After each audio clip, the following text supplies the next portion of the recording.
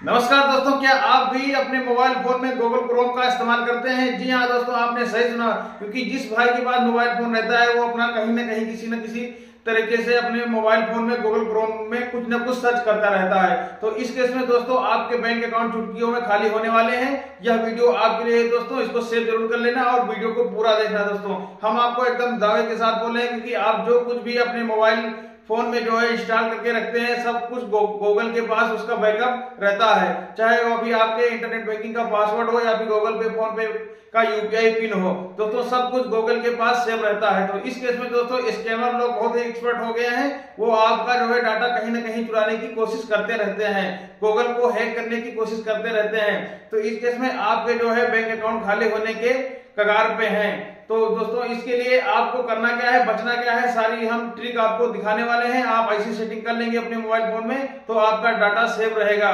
तो इसके लिए आपको गूगल क्रोम ब्राउज़र में चलना है और वहाँ पर हम आपको सेटिंग दिखा रहे हैं। आपका डाटा जितना सारा आप, आप कुछ सर्च करते हैं आप उसकी गूगल क्रोम के पास सेव रहता है और उसको उससे बचना किस किस प्रकार है हम आपको दिखाते हैं। चलिए हम क्रोम को ओपन करके आपको दिखाते हैं। जहाँ पर गूगल क्रोम ब्राउज़र को ओपन करने के बाद दोस्तों कुछ इस प्रकार इसका इंटरफेस रहता है। उसके बाद यहाँ पर थ्री डॉट वाले ऑप्शन पर क्लिक करेंगे एंड यहाँ पर सेटिंग वाले ऑप्शन पर क्लिक करेंगे।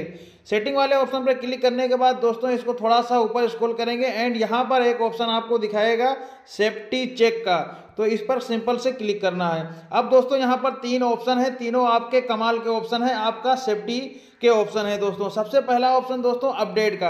अब आप अपडेट वाले ऑप्शन पर क्लिक करके इसको चेक कर लेंगे। क्या आपका फॉर्म अपडेट तो नहीं मांग रहा है, आपका क्रोम ब्राउज़र अपडेट तो नहीं मांग रहा। अगर अपडेट मांग रहा है, आपको जस्ट ही तुरंत बिना देरी किए हुए उसको अपडेट कर लेना है, क्योंकि आप अगर अपडेट कर लेंगे तो कहें, कुछ हद तक आप सिक्योर रहेंगे। उसके बाद बैक आएँगे।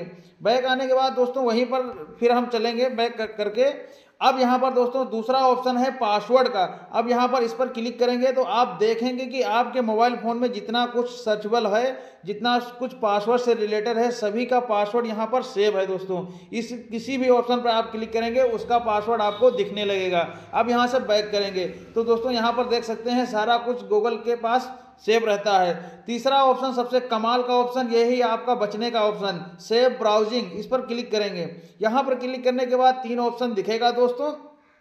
इनहेरिटेड प्रोटेक्शन प्रोटेक्शन उसके बाद स्टैंडर्ड प्रोटेक्शन उसके बाद नो प्रोटेक्शन यहाँ पर दोस्तों तीन ऑप्शन रहेंगे और आपको पहले या फिर दूसरे दोनों में से किसी एक ऑप्शन पर सेट करके रखना है। अगर आपके मोबाइल में तीसरे ऑप्शन पर सेट सेट है नो प्रोटेक्शन पर तो आपका जो है डाटा सिक्योर नहीं है, आप कहीं ना कहीं आपका डाटा लीक हो सकता है। तो इस केस में दोस्तों, इसी वाले ऑप्शन पर मैं रिक्वायरमेंट करूँगा कि पहले वाले ऑप्शन पर आप इसको टिक मार्क लगा देंगे।